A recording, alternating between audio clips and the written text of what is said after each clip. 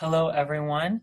My name is Brandon Shaden. I am the coordinator of middle school youth ministry here at St. Mary's, and I am going to give you a walkthrough of how to access our online EDGE resources uh, for you and your families um, as we are now in this time of having to do EDGE virtually because of the new restrictions in place. And so, uh, just a word of encouragement to everyone. If you look behind me, we have St. Padre Pio with his famous quote Pray, hope, and don't worry. As long as we're praying and hoping, uh, life will always have its challenges, but God will always work everything out for my good and for your good. So let me begin and show you how to access Edge's online um, or our online materials uh, for Edge. So we utilize this program called Flipgrid, and I'm going to show you how that works. I, when you get the link to access Flipgrid, when I send you the link, uh, which is flipgrid.com slash 2020 edge, you can see that at the top here, flipgrid.com slash 2020 edge. That is the link to access all of our online uh, resources for Edge.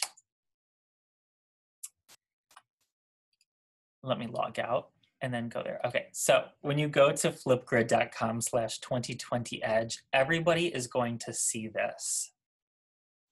Uh, when you go to this link, at flipgrid.com 2020 Edge, you will see this screen appear. Wires and Robotics, which is the title of this semester's session for Edge. And it's going to say join with Google or join with Microsoft. This is probably out of everything in this video, probably the most important piece of information that you need um, because this has been um, a point of I've just gotten a lot of questions when we started doing the online portion of Edge of how to access the Flipgrid for um, the online materials for Edge. So this is the portion where, um, or the part that you really just need to pay attention um, so that if you do have questions, you either can come back to this video or you can always reach out to me. Um, but I will give you essentially what I'm giving you right now. So to access the Flipgrid, uh, after you go to flipgrid.com slash 2020 edge, it's going to say join with Google or join with Microsoft. And what you need to do is if you have a Gmail account or if you have a Microsoft email account, you can go ahead and click, for example, if you have a Gmail, you can click join with Google. And because you have a Gmail account, you go ahead and put your Gmail email. So, like mine is St. Mary Huntley YM at gmail.com. And that's the email address that I would use to access the Flipgrid. Or if you have a Microsoft email, um, you can go ahead and use whatever Microsoft email that you have.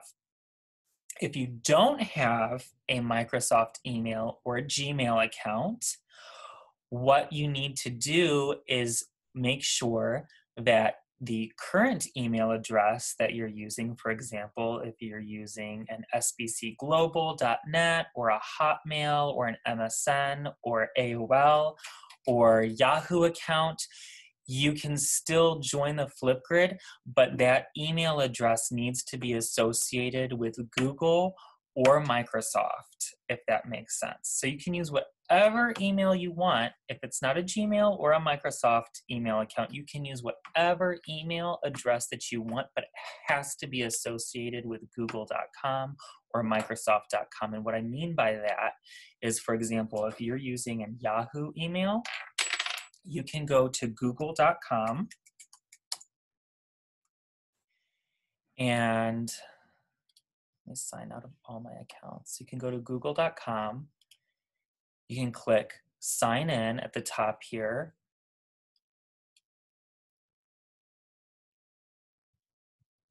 you want to go to create an account. Okay, so I'm going to go back. So google.com, click sign in, as you can see here in the top right corner. You're going to select create an account for myself. And you're going to type in um, the information that it's asking you for, your first name. So my first name is Brandon, my last name. And then after you type in your first name and last name, it's going to ask you for a Gmail account that you want to use um, to create. It's going to ask you essentially to create your create your own Gmail um, email address. But if you, like I said, if you have another email address that you're using and you don't want to use a Gmail address, you can go down to here where it says use my current email address instead. And then you can type in your current email address. Okay, and then create your own password and then confirm um, that password.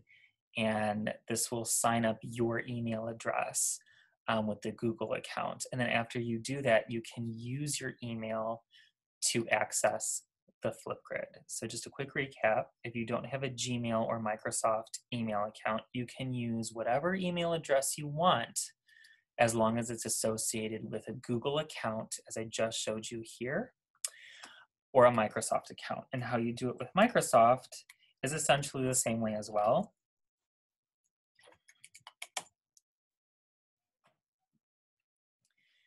You want to go to sign in at the top right hand side where it says sign in.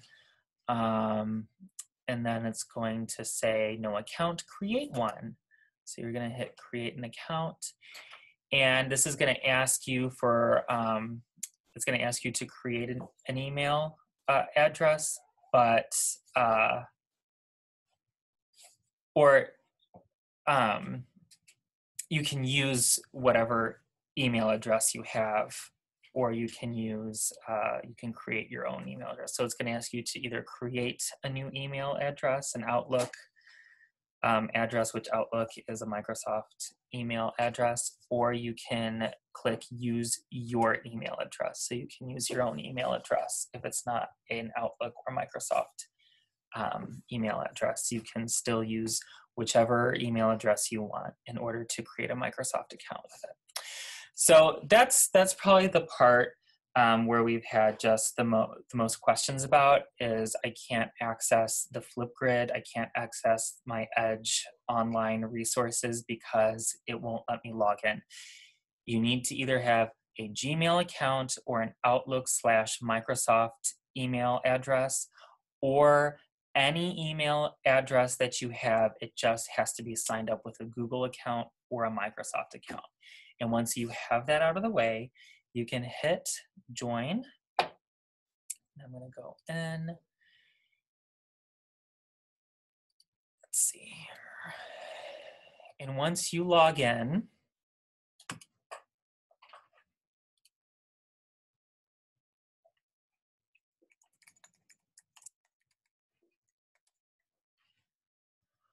once you log into the Flipgrid, uh, this is what is going to show up. This is what it's going to look like for you on your end.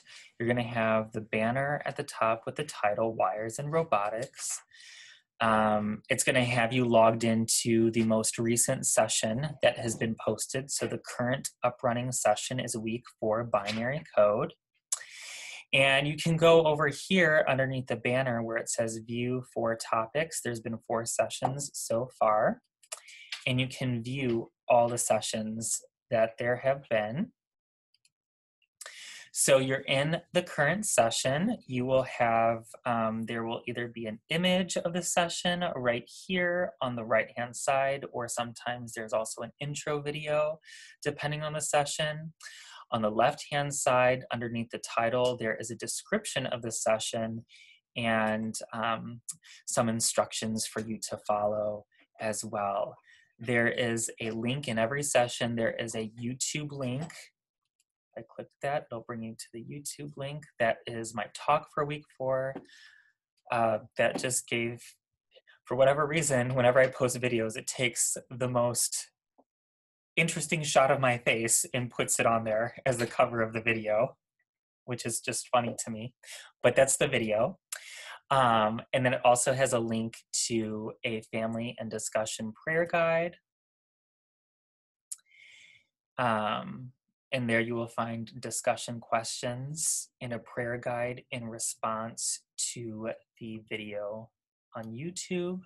And then there's also a family activity guide. And I usually ask that the family activity be completed before the discussion and prayer activity. And then I, I, normally also ask one of the questions from the discussion question guide. Uh, so like here it says, I wanna hear from you. And my question is, what are one or two qualities that make you unique as a person?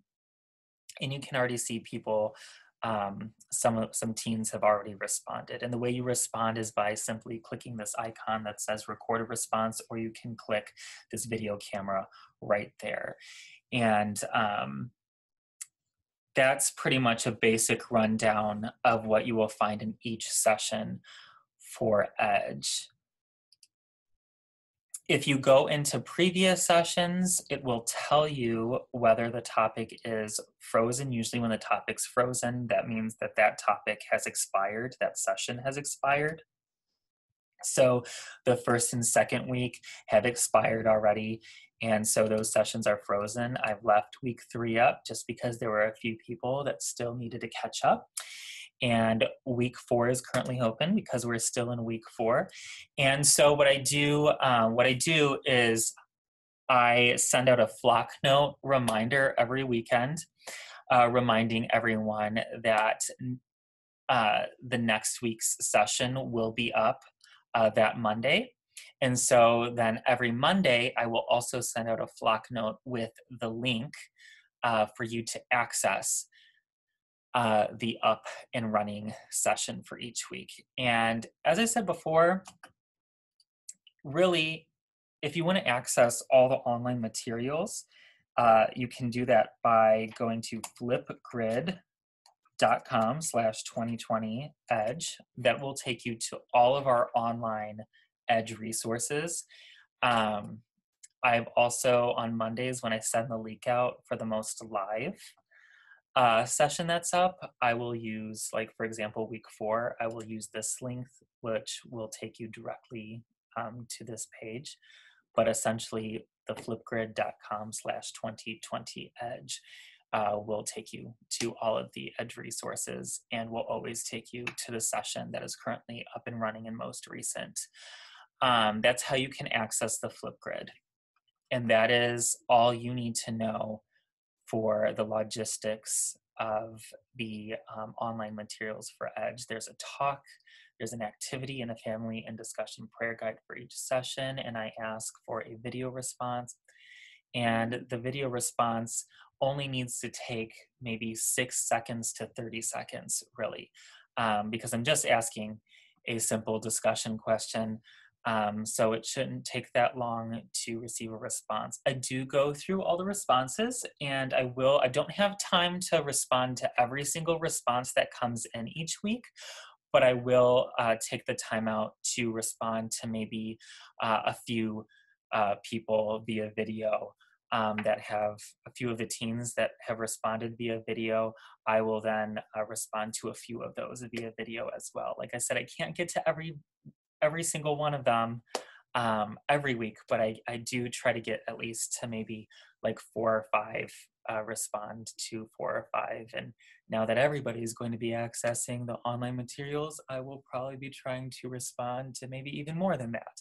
So I will do my best to, but please be assured and rest assured that when your teen sends in an answer, a video answer to my discussion question, that I do actually go through and watch all of them. So if I'm not responding to every single teen via video, I am listening to what each of your teens have to say because what your teens have to say is important to me and Maggie and Melissa in our youth ministry here at St. Mary's. So don't ever feel like any video response um, that is put out, any answer to the discussion questions that your team give via video, uh, please rest assured it's not being ignored.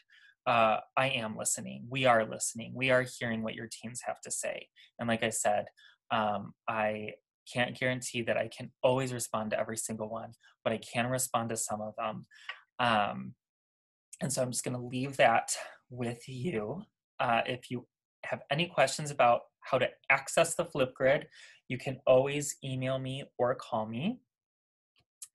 Uh, our number is 847-669-5612, or you can always email me at brandon.stmaryhuntley at gmail.com.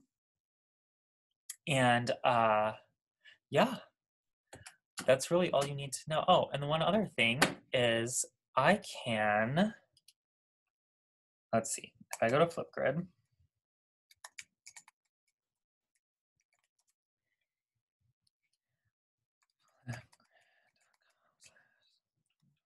edge. Oh, keep making typos. Okay. I can um,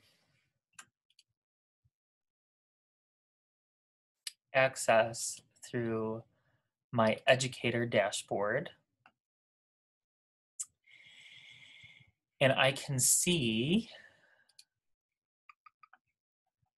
everybody's who, who's accessing the Flipgrid. So that's actually the way that I, you know, kind of keep accountability is I'm able to click on students here and I'm able to see everyone who's been able to access the Flipgrid. So that's just the way I keep accountable is just by seeing how many people and who in particular have had who have been able to access the Flipgrid. So that's the last part I wanted to share with you as well. So uh, hopefully you've learned how to, uh, well, you've learned what Flipgrid is, you've learned how to access the Flipgrid and what I do on my end with the Flipgrid. And uh, hopefully that answers any questions that you may have. And if it doesn't, like I said, you can always reach out to me and our youth ministry office, and we would love to help you. And I hope that you have a wonderful day.